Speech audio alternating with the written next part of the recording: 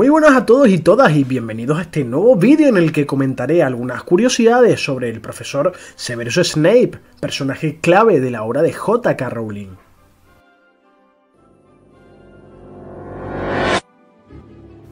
Severus era un hábil usuario de oclumancia, una rama de la magia eh, que era capaz de impedir el acceso a los pensamientos y sentimientos a través de la legeremancia, ¿no?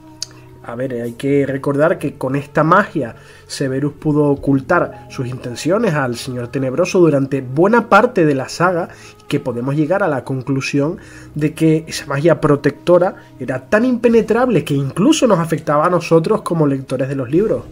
¿Por qué digo esto? Eh, bien, bastante difícil eh, desgranar si las acciones de Severus Snape son actos horribles o heroicos, ya que Severus podía haber sido eh, podía ser visto como una buena persona o mala persona según el punto de vista de cada uno.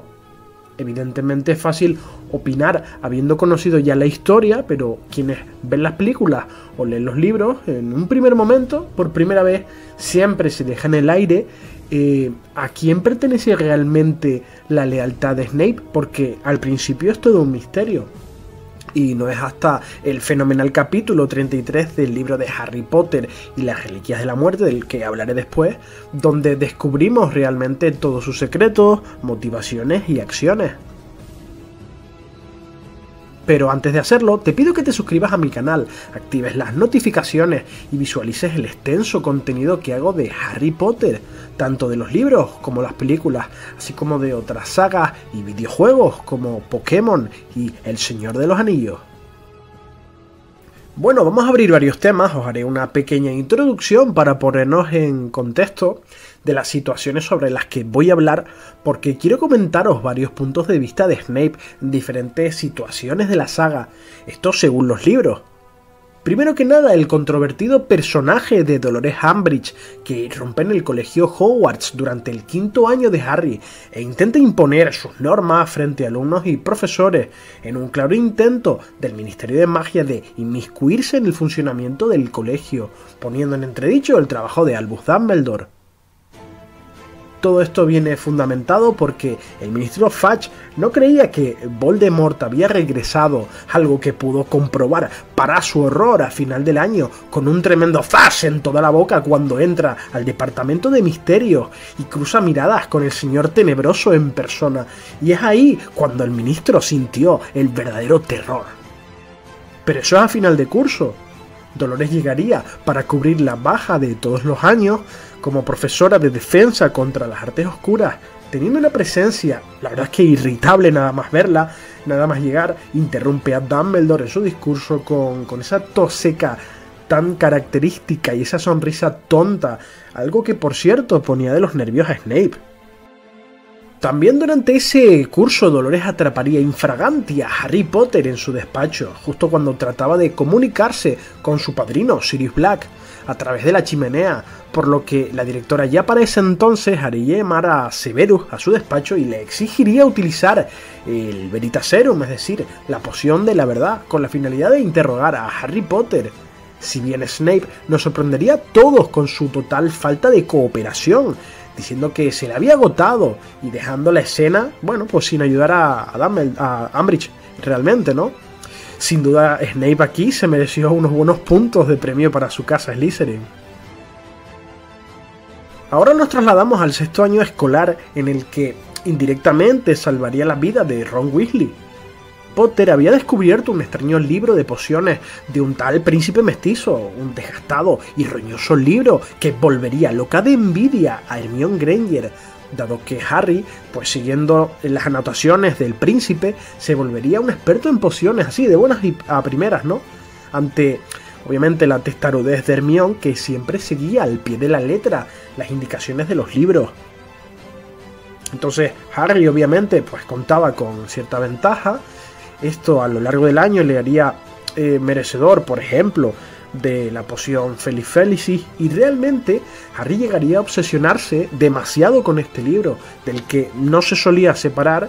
Eh, es advertido por varios de sus amigos, en especial por Ginny, de que tuviera cuidado con su contenido. Esto dado los antecedentes del diario de Tom Riddle. Harry evidentemente no haría caso ninguno a estas advertencias y ya sabemos que esto casi le cuesta la vida, eh, bueno, la vida, también una posible expulsión, porque el pobre Draco Malfoy pues estuvo ahí entre medio, ¿no? Y, bueno, pues puso directamente la vida también de Severus Snape, debido al juramento inquebrantable que había realizado para proteger la vida de Draco. Esto era algo que Harry obviamente no sabía, pero podía haber sido fatal para, para, todo lo que pasó después, ¿no? Para el plan secreto de Dumbledore y en general, pensad que si Draco y Snape llegan a morir en ese momento, tengo claro que Voldemort hubiera ganado eh, la guerra y Harry hubiera sido total y completamente eliminado. Imaginaros incluso que en Harry Potter y el legado maldito, continuación de la saga, que ya hice un análisis muy extenso durante varios meses en mi canal, hay una especie de what if en el que se nos aborda y se nos explica esa línea temporal en la que el Señor Tenebroso triunfa, algo que repito, os invito a descubrir a través de mis vídeos en la lista de reproducción. Bueno, pues en uno de los tantos intentos eh, de asesinato fallidos por parte de Draco Malfoy al Albus Dumbledore, Draco haría llegar una botella de hidromiel de la mejor calidad, que contenía un potente veneno, por cierto, destinado al director, con la mala suerte de que Horace Slughorn pues la abre, se la da de beber a Ron, eh, él se desploma casi al instante y de no ser por la rápida intervención de, su amigo Harry, que con un besoar pues lo pudo ayudar, pues Ron hubiera pasado a mejor vida. Algo que sí pasó, por cierto, en la línea temporal esa oscura que comentaba antes, de una forma horrenda. Pero bueno, el caso es que Harry, eh, digamos que gracias otra vez a estas notas del, del libro del príncipe mestizo, pues, pues Ron pudo sobrevivir, aunque Mención especial, por cierto, la inutilidad total en ese momento de Slughorn, que bueno, pues vio la situación como un mero espectador sin hacer gran cosa. A ver, yo no dudo de la sabiduría de, de, este simpático profesor que, bueno, pues agregaría unos toques cómicos a la película, pero seguro que si Ron hubiera sido parte del club de las eminencias, pues seguramente Lagor hubiera intentado ayudarle un poco, pero bueno,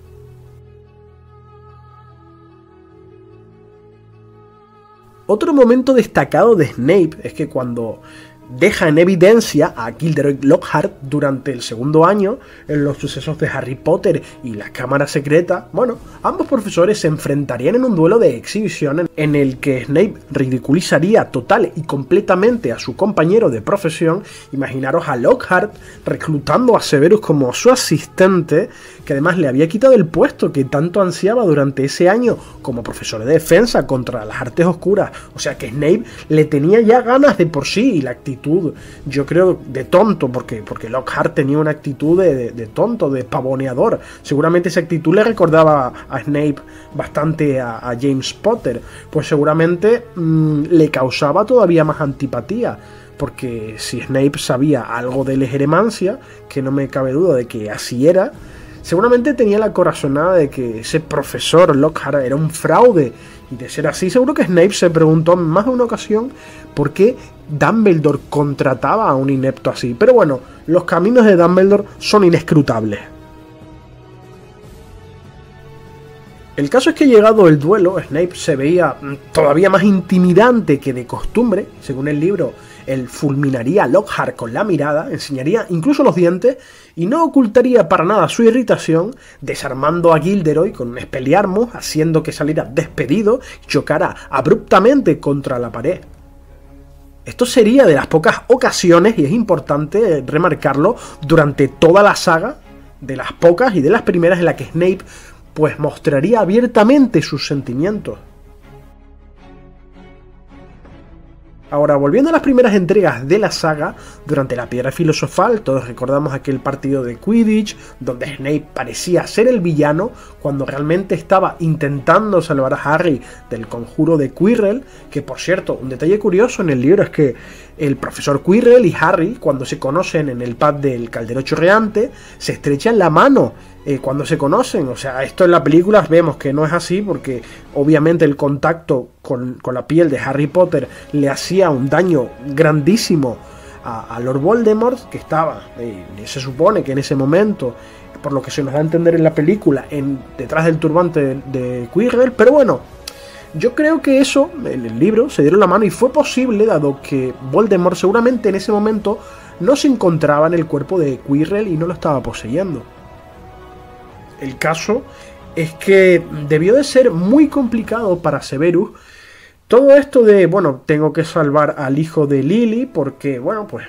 por, por la protección que le quiero dar, por el amor que sentía hacia ella en vida, aunque bueno, pues tengo sentimientos de odio porque es la viva imagen de su padre y demás.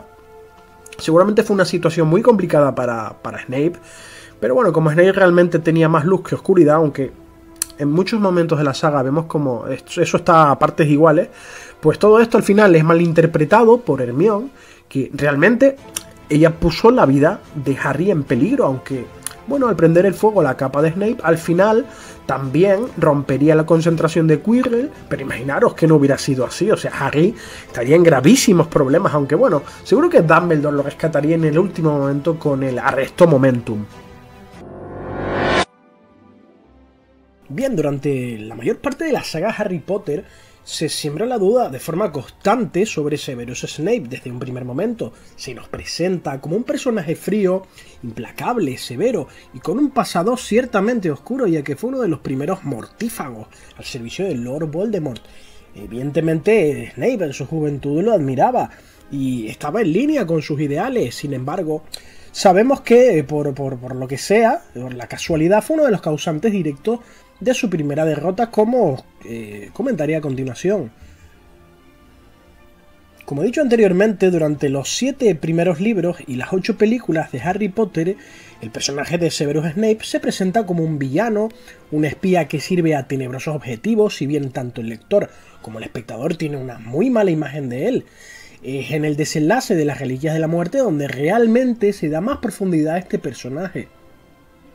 Al parecer no se sabe mucho sobre el papel que desempeñó el servicio de Lord Voldemort durante la Primera Guerra Mágica, puesto que él fue el espía por parte de los mortífagos sobre la profecía que dijo Sybil Trelawney a Albus Dumbledore en el pub de Cabeza de Puerco. Sin embargo, Severus Snape es descubierto y expulsado antes de conocer la totalidad de la profecía, por lo que no se la pudo contar, de hecho se la contó a medias al Señor Tenebroso. Evidentemente, esto ocasionaría su caída ya que Voldemort actuó con una falsa seguridad y de forma descuidada, como él mismo reconocería en los libros el día de su regreso en el cementerio del pequeño Hagelton, durante los sucesos del Cáliz de Fuego y en el torneo de los Tres Magos. Por tanto, Snape, sin saberlo, había precipitado que Voldemort, eh, que llevaba varios años sembrando el caos en el mundo mágico de Reino Unido, cometiera un error fatal y perdiera su cuerpo físico, Ahora vamos a hacer un salto temporal en estos momentos y nos trasladamos al final del cuarto libro de la saga, como comentaba anteriormente, momento en el que, como todos sabéis, Voldemort resucita y ante él acuden inmediatamente algunos de sus antiguos seguidores, evidentemente con excepción de Igor Cárcaro, de Severus Snape, y los mortífagos que estaban en Azkaban que por razones obvias no podían desaparecerse de, de la cárcel, ¿no?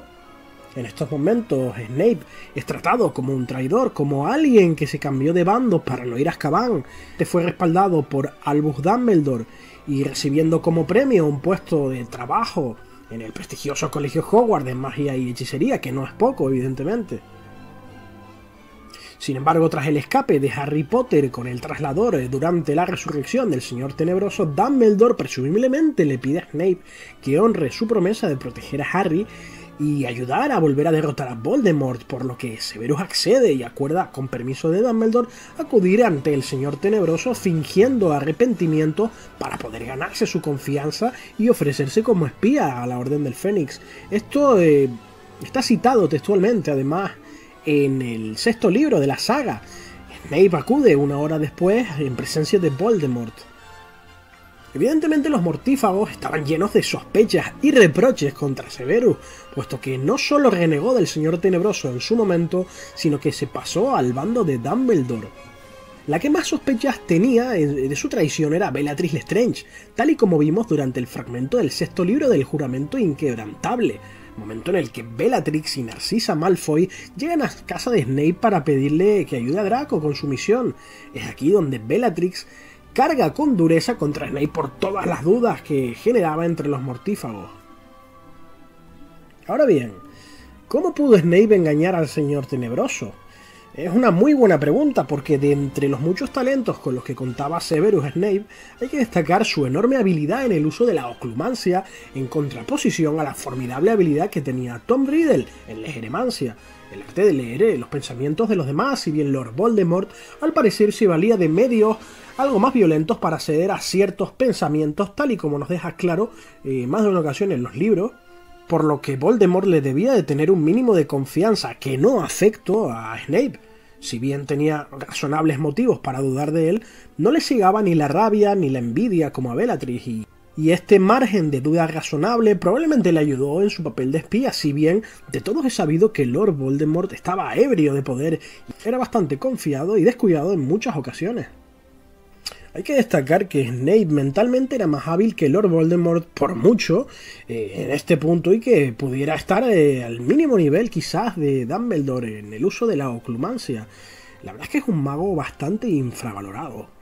De los libros y de las películas sabemos que Severus Snape nació en una región eh, llamada Cockwork en Inglaterra y que estaba rodeado de muggles, ya que su padre, Tobias Snape, era muggle y su madre, Eileen Prince, era bruja. Bien, en este ambiente, en la calle de la Hilandera, que era donde realmente vivía, vivía cerca de la familia Evans y conoció durante su infancia a Lily Evans, la cual sería luego Lily Potter, enamorándose de ella y haciéndose su mejor amigo. Ahora bien, una vez que ambos comenzaron en Hogwarts, él fue seleccionado, como todos sabemos, en la casa de Slytherin y que comenzó a distanciarse poco a poco de Lily, porque realmente él al final se alinea con los ideales de la casa de Slytherin, que evidentemente eh, rechazaban a Lily por su origen eh, además de que comienza a despertar una pasión por las artes oscuras. Sabemos también que cuando él termina sus estudios en Hogwarts, Severus Snape se une al bando de los mortífagos, a las filas del Señor Tenebroso. Ahora bien, desde el momento en el que Severus Snape se entera de que Voldemort realmente ha elegido a los Potter, eh, él le pide que, le, que, vamos, le implora que eh, perdone a Lily. Bueno, en este caso Voldemort realmente sí le da su palabra de que, bueno, pues, pues va, va no va a matar a Lily. ¿Qué pasa? Que Lily evidentemente eh, se interpone, como todos sabemos, entre Voldemort y Harry y al final Voldemort, Voldemort la mata. Pero antes de que ocurra esto, eh, evidentemente Snape, como no se fía del todo de Voldemort, él acude a, Albus Dumbledore y Dumbledore, claro, eh, Dumbledore, pues un poco, bueno, realmente Snape le pide también que proteja a Lily, solo a Lily, que esto es un punto también curioso porque vemos también esta parte de, del Snape más humano, de oye, odio a, a, James, me da igual lo que le pasa a James y lo que le pasa a su hijo, pero Dumbledore, por favor, quiero que protejas a, a Lily, claro, y en este, en este momento Dumbledore le reprocha bastante el hecho de que solo a Lily, de verdad, e, eso es, ¿me entiendes? O sea, es algo así, entonces claro, eh, realmente Snape eh, al final le dice, bueno, pues protégelos a todos, al final ya sabemos cómo acabó todo, eh, tras la muerte de, los Potter y la caída del Señor Tenebroso, eh, Severus Snape, que en este momento eh, se, ha cambiado ya de bando, eh, después de traicionar a Voldemort, para intentar proteger a su amada Lily Potter, y le pide a Dumbledore que ser el profesor de defensa contra las artes oscuras en el colegio de Hogwarts. ¿Cuál es el problema? Que Dumbledore lo quiere alejar de esa tentación, lo quiere alejar de su vida anterior como mortífago y evidentemente le da el puesto de, profesor de pociones, el cual sabemos que desempeñaba eh, bastante bien, aunque era un profesor exigente y muy estricto. En el momento en el que Severus Snape decide traicionar al Señor Tenebroso, eh, corre un grandísimo peligro. Sabemos que Snape es muy hábil en el uso de la oclumancia, pero eh, el Señor Tenebroso es extraordinariamente hábil en la, en legeremancia. Él puede leer y escrutar en las mentes de, las personas. Entonces, claro, aquí vemos como eh, Snape realmente corre un gravísimo riesgo y a lo largo de, la de toda la saga veremos cómo él sigue tratando con total desprecio a Harry, que en algunas ocasiones lo protege porque, mm, bueno, justamente para mantener la fachada, evidentemente ante Dumbledore y ante Voldemort, pero este doble juego eh, al final es que él tampoco, pienso que nunca debió mostrarse abierto con, con, con Harry porque eh, cualquier descuido podría ser fatal para su trabajo de doble espía la batalla de Hogwarts representa el enfrentamiento final entre los dos bandos que se enfrentaron en la Segunda Guerra Mágica de Reino Unido, entre los partidarios de Lord Voldemort y los de Harry James Potter. En el anterior vídeo os había narrado cómo Harry Potter y sus amigos se internaban en la Casa de los Gritos para destruir a la serpiente Nagini, último de los horrocruxes del Señor Tenebroso, ya que, a diferencia de la película, Voldemort tenía su base aquí y no en los embarcaderos del colegio, un lugar, por otra parte, demasiado cercano a la batalla. Esta ubicación de Voldemort en la película carece de sentido ya que Tom Riddle tenía una naturaleza cobarde que le impediría estar tan cerca de las fuerzas enemigas, sobre todo teniendo en cuenta que tenía constancia de que Harry estaba detrás de sus horrocruxes aunque no sabía al 100% si los había destruido todos. Solo conocía que el guardapelo, el diario, el anillo y la copa habían sido eliminados. Asimismo, ignoraba si la diadema, ubicada en la sala de los menesteres, había sido encontrada, pero seguramente contaba con esa posibilidad. Recordemos también que Voldemort no tenía conocimiento de cuándo eran destruidos los Horrocruxes, al contrario de lo que vemos en la película, porque todo esto tiene mucha más intriga en los libros. Como os decía, Harry y los demás habían asistido al asesinato de Severus Snape. Voldemort había abandonado con Nagini la Casa de los Gritos, dejando a su suerte a un agonizante Snape que nada más ver aparecer a Harry llamó su atención, y Harry, sin saber por qué, se acercó al asesino de su maestro Dumbledore quizás por la misma compasión que Albus le había enseñado a tener con los demás. Uno de los rasgos diferenciadores entre Harry y Voldemort, ya que ambos tenían más cosas en común de las que podáis pensar. Y según palabras del propio Dumbledore, a ambos le unía una conexión que trascendía los límites del mundo de la magia, algo que exploraremos en otra ocasión. Mientras el mortífago Severus Snape intentaba sujetar la herida sangrante de su cuello, Harry se acercaba a él la expresión de Snape cambió completamente, y aunque apenas podía hablar por la herida, cuando Harry se inclinó ante él, Snape alcanzaría a susurrarle con mucha dificultad algunas palabras, para a continuación comenzar a soltar unas gotas de color azul plateado, que no eran ni líquidas ni gaseosas, mientras que Snape les rogaba que las recogieran. Hermione entonces conjuraría un frasco de cristal, recogería esta extraña sustancia y al finalizar, Snape buscaría desesperadamente mirar los ojos verdes de Harry Potter por última vez. Y entonces los suyos propios se apagaron, finalizando con la vida del legendario príncipe mestizo. En ese momento se escucharía la voz amplificada de Lord Voldemort, que se había trasladado a Hogsmeade para anunciar la suspensión de las hostilidades entre ambos bandos durante una hora para que pudieran atender a sus heridos y fallecidos, pero ordenando a los supervivientes rendirse, amenazando específicamente a Harry Potter, diciéndole que si no se entregaba ante él, igualmente acabaría con la vida de todos, sin compasión alguna. Tengo que explicar un punto importante sobre la muerte de Snape antes de continuar, ya que su muerte para muchos es cuestionable, dado que era un maestro de pociones y otras ramas de la magia, siendo un mago previsor capaz de engañar a Voldemort por lo que es difícil de encajar para el lector y también para el espectador que Severus no fuera capaz de salvar su vida en ese momento. Hay que tener en cuenta que Snape durante toda su vida sufrió amargamente muchas situaciones difíciles y que es muy probable que quisiera tener el alivio de contarle por fin a Harry toda la verdad. Aprovechando su muerte para cumplir la misión de proteger al hijo de Lily y que por vergüenza seguramente no quería que Harry lo supiera mientras Snape viviera, que lo había estado protegiendo desde el principio. También es factible pensar que en este punto de la historia Severus ya no tenía motivos para seguir luchando, tras, como digo, pasar tantos años de sufrimiento en silencio, tenemos que ponerlos en su lugar. Pudo haber decidido no continuar con su lucha, ya que además el sacrificio de Harry estaba próximo, aceptando su muerte con la dignidad de haber sido un héroe sin capa, ya que, al contrario que Voldemort, Snape sí contaba con la valentía suficiente como para recibir a la muerte como una vieja amiga.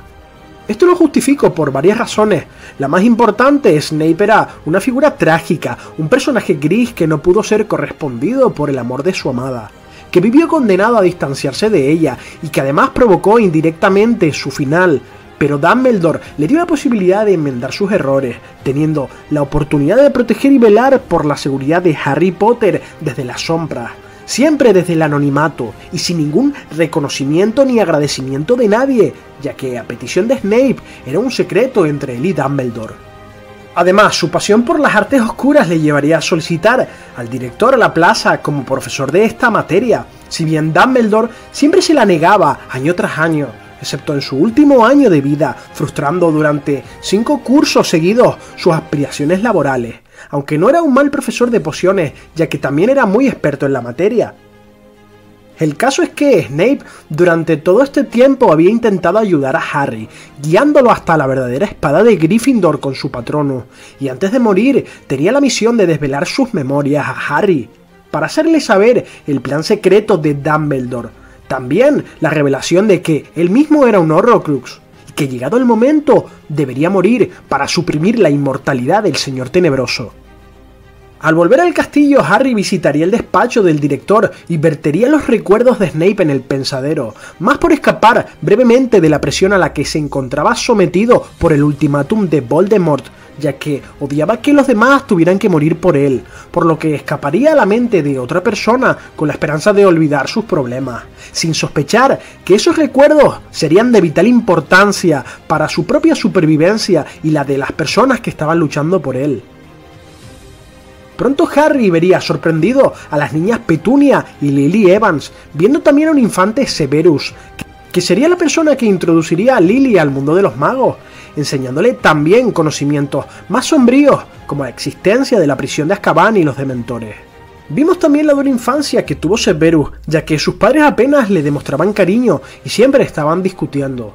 Pero Lily sería la luz que lo alejaría de la sombra durante esos años, mostrándose como Snape y Lily se encontraban en el andén 9 y 3 cuartos, y Harry vería, sorprendentemente, a su madre discutir con su tía Petunia, ella le diría a Lily que era un monstruo por ser una bruja, replicando Lily a su vez que Petunia no parecía pensar eso cuando le escribió una carta a Albus Dumbledore rogándole la admisión en el colegio. Una joven Petunia estaría enormemente avergonzada porque se supiera este hecho, y ese sería uno de los tantos secretos que tía Petunia se llevaría al otro mundo después de su muerte en el legado maldito. Hemos llegado al final, gracias por ver el vídeo, os prometo que pronto os traeré mi análisis del final del enfrentamiento entre Lord Voldemort y Harry Potter, con el apoteósico final de la batalla de Hogwarts.